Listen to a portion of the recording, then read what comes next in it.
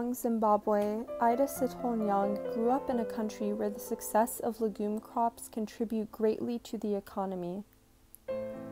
Zimbabwe is especially known for its cowpeas. Cowpeas, also known as black eyed peas, are herbaceous legumes that can grow in low rainfall areas.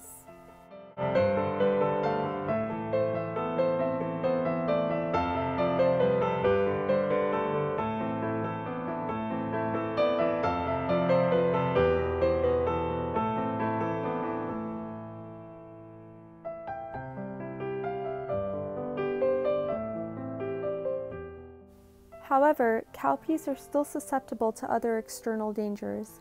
As a plant biologist and biochemist, Sithole-Niang decided to find a way to genetically modify the cowpeas, so to protect them from pests and viruses.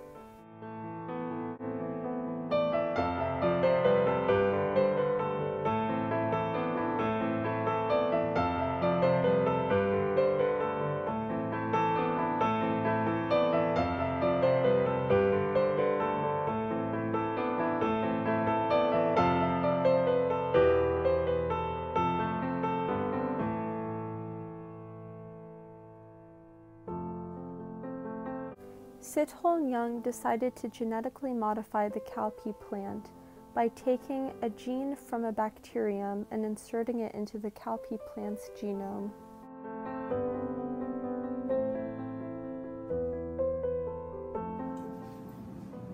I have always been passionate about developing genetically modified organisms, especially those in crops such as cowpeas. Cowpeas are very important in my country, Zimbabwe. So our genetic modification is derived from the bacteria Bacillus thuringiensis, which produces the Bt toxin genes, specifically the VIP and CRY genes.